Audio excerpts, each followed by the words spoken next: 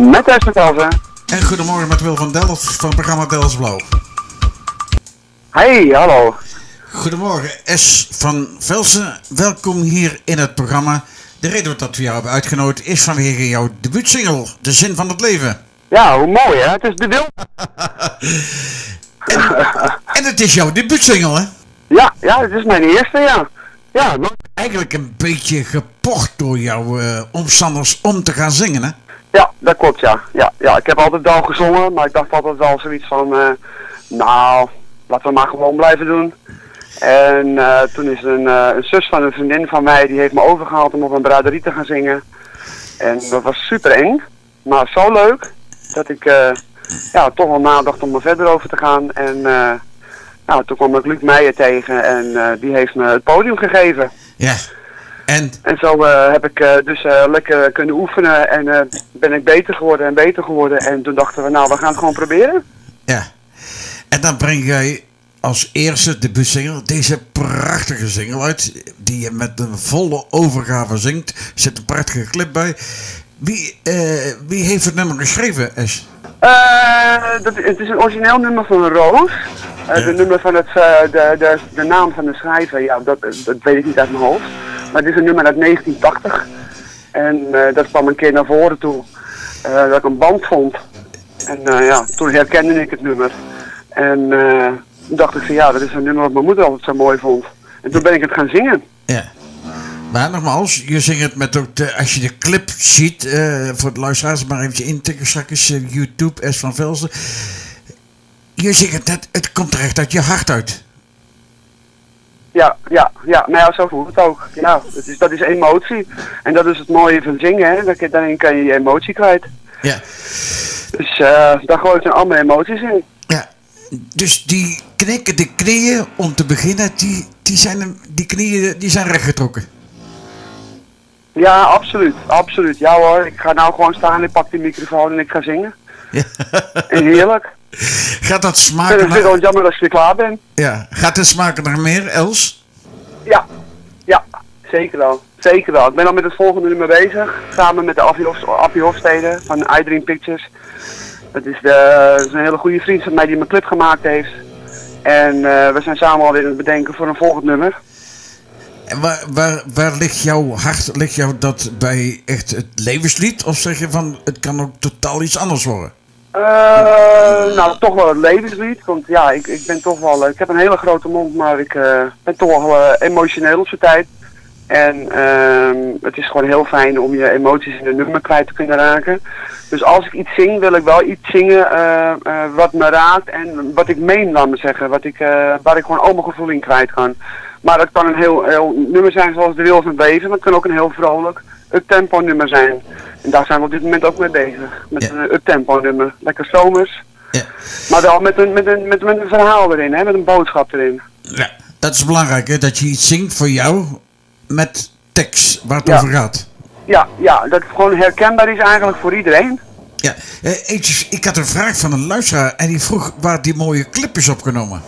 Die clip is eh, deels opgenomen in Velserbeek, in eh, Bekenstein eh, bij Amuiden. En eh, het zingen zelf is opgenomen in, eh, in eh, Amsterdam, in Diemen. Ja. Eh, eventjes voor de luisteraars die de single misschien wel of niet kennen, we, hebben- we hebben al verschillende keer gedraaid, maar Es, vertel eventjes wat over de tekst van het nummer. Wat wil je precies weten? Ja, vertel een klein beetje de, waar het nummer over gaat. Laat een klein stukje van de tekst horen waar het nummer over gaat. Voor de luisteraars die de single nog niet kennen. Eh, de wil van het leven, ja, dat gaat over een, een, een echtpaar wat uit elkaar gaat. En eh, waarvan de vrouw op een gegeven moment zegt, nou ja, goed, ik ga door met leven. Eh, ik kan je vergeven wat er gebeurd is. En eh, het is niet anders, het is de wil van het leven dat het zo gelopen is. En eh, ja, we moeten ermee dealen. Ja. Eh, eh, es, eh, ook een vraag natuurlijk. eh, Deze single, ehm, eh, die nu momenteel is. Hoe zijn de reacties geweest tot het uit? Want je, bent dus, eh, je hebt een debuut gemaakt. Hoe zijn de reacties geweest tot nu toe? Van de mensen die waarvan ik het gehoord heb, ja, die vinden het prachtig, die vinden, die vinden het mooi en herkenbaar ook inderdaad. En ja, die zingen het ook gewoon mee. Ik heb nog niet veel reacties gehoord, eh, misschien dat er wel reacties zijn, maar ik krijg het niet helemaal mee, laat maar zeggen. Eh, want ik werk gewoon 40 uur in de week. En ik ben supervisor, dus het is best wel intensief. Ja. En eh, ja, er gebeuren zoveel dingen om me heen waar ik waarschijnlijk niet eens geen weet van heb, nog. Dus, eh, maar de reacties die ik dus inderdaad hoor, ja, die zijn geweldig. Ja. Die zijn geweldig. Dan gaat er een heel andere wereld voor je open. Nou, ik ben bang van wel. iets, iets wat ik niet in mijn gedachten had, laat me zeggen. Eh, ehm, ja, dat zeg ik, we zouden het nummer nooit opnemen. En ik heb toen zelf een, een band, de band die dus onder dit nummer staat, heb ik toen zelf laten maken. Omdat ik gewoon een wat vollere band wilde hebben. En ik kwam toen inderdaad mijn inmiddels hele goede vriend uh, Appie Horstede tegen. En eh, die, die maakte dan de clips. Hij zegt, goh, zullen, zullen we eens wat proberen? Ja. Nou ja, die geschoten is altijd mis. Dus eh, we zijn wat gaan proberen. En nou ja, we zijn heel trots met het eindresultaat. ja. En hoe is dat thuis, hè, man lief? hè? De, want zijn vrouw gaat in één keer zingen. Hoe is dat thuis? Nou, thuis, ik ben gewoon alleen. Dus eh, daar heb ik geen last van. Maar Nee. eh ja, mijn kinderen worden een beetje, een beetje moe van het nummer. Want die horen het bijna elke dag. en die zeggen, nou man, zing nou maar eens wat anders. Ja, dat is leuk. dus dat dat is wel leuk. Maar ze lezen, we, Ze is zo leuk als ze lezen ze, wel met me mee. ja, leuk als zijn moeder in één keer gaat zingen. Hè? Ze wordt er in één keer onder aandacht gebracht. Hè? Ja, ja, dat is wel een beetje, een beetje raar. Van, eh, nou, dat ben ik helemaal niet gewend. En mam, doe even zingen, doe maar weer normaal. Weet je wel. En eh, nou, mijn zoon vindt het ook prachtig. Die gaat ook vaak mee met zijn vrienden. En eh, dus dat is helemaal geweldig. Ja. En, ja. ook, en, ook, en ook jouw collega's op, op het werk, hoe reageren die? Eh, nou, de mensen die het weten, kijk, ik wil, ik wil die twee wel een beetje gescheiden houden. Eh, eh, ze weten het natuurlijk wel, degenen die het weten, ja, die vinden het helemaal geweldig. Hadden het niet verwacht dat ik kon zingen en hadden ook niet verwacht dat het zo mooi zou zijn.